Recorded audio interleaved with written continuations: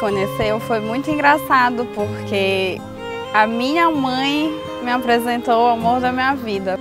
Disse, olha, vem aqui, quero te apresentar um amigo que eu conheci agora.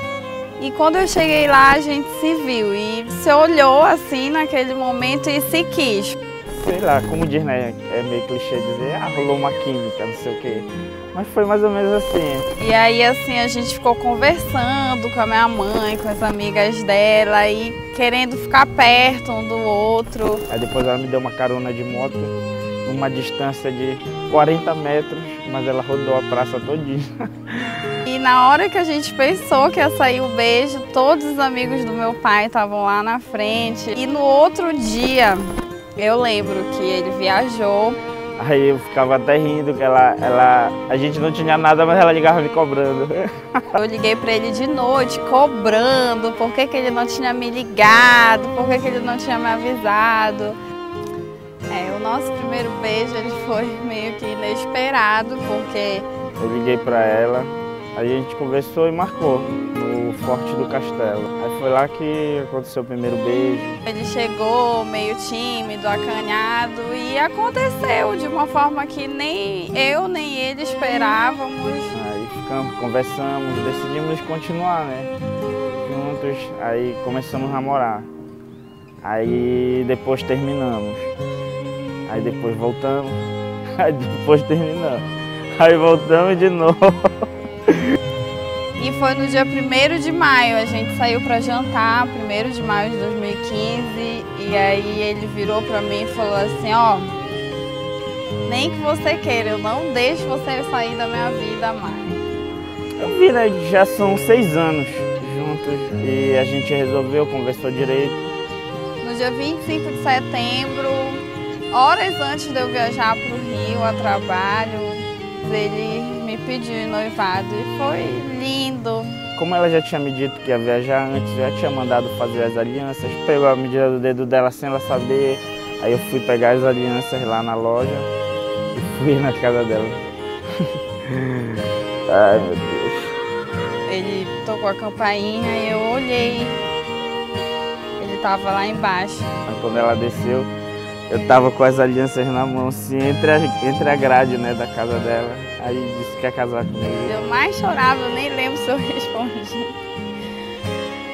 Se viesse um ladrão na hora, ele ia me roubar todinho, porque ela não aguentou nem abrir o cadeado.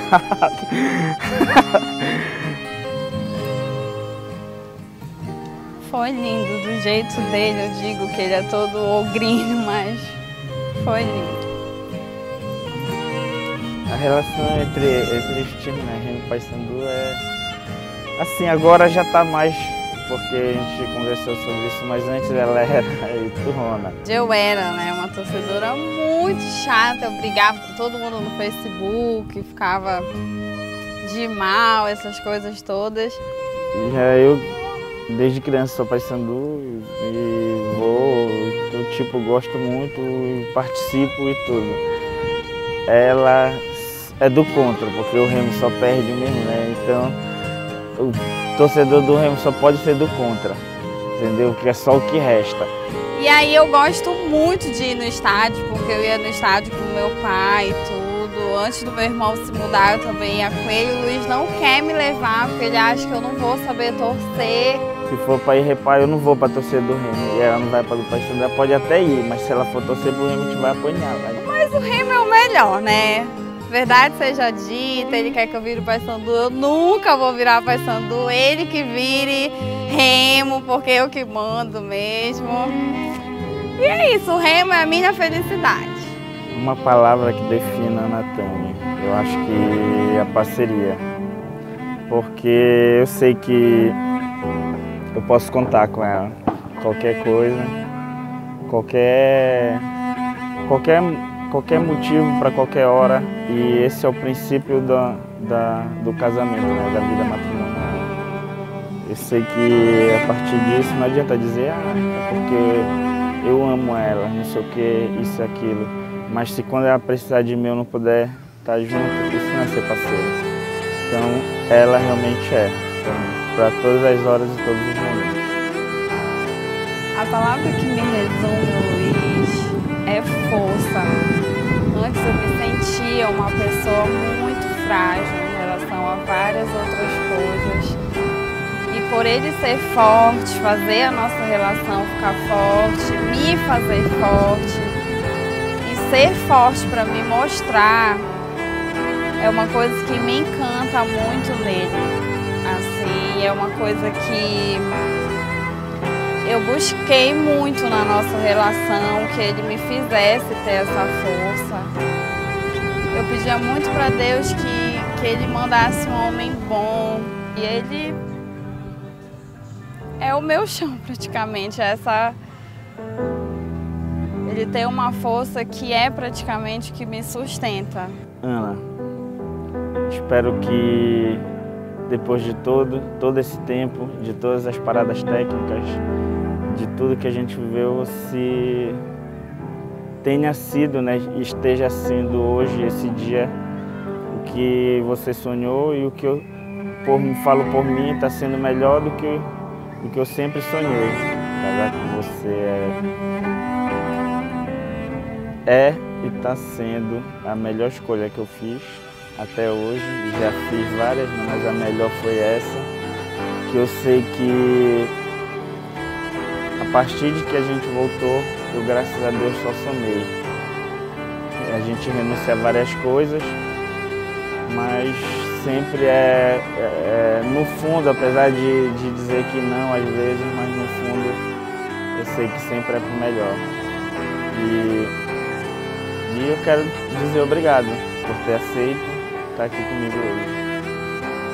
Quando eu te digo que a parte né, da festa, assim, é mais, mais você que é realizando o teu sonho que por mim gente fazia só um churrasco. Mas eu espero que esteja, é, tenha suprido todas as expectativas, que você tenha gostado. E vamos para frente que hoje só é o começo. Amor, é, a gente estava sentado ainda há pouco ali e eu te agradeci, né? Por tudo, por tu estar tá realizando um sonho que eu tenho desde criança. E por me amar tanto de uma forma que nunca ninguém me amou, que eu nunca senti por ninguém. E ninguém é substituível, né? E tu chegaste na minha vida e fizeste um pouco de papel de pai, de irmão. E a gente se completa, você me completa. Obrigada por fazer uma menina mimada de 28 anos se tornar uma mulher de 29.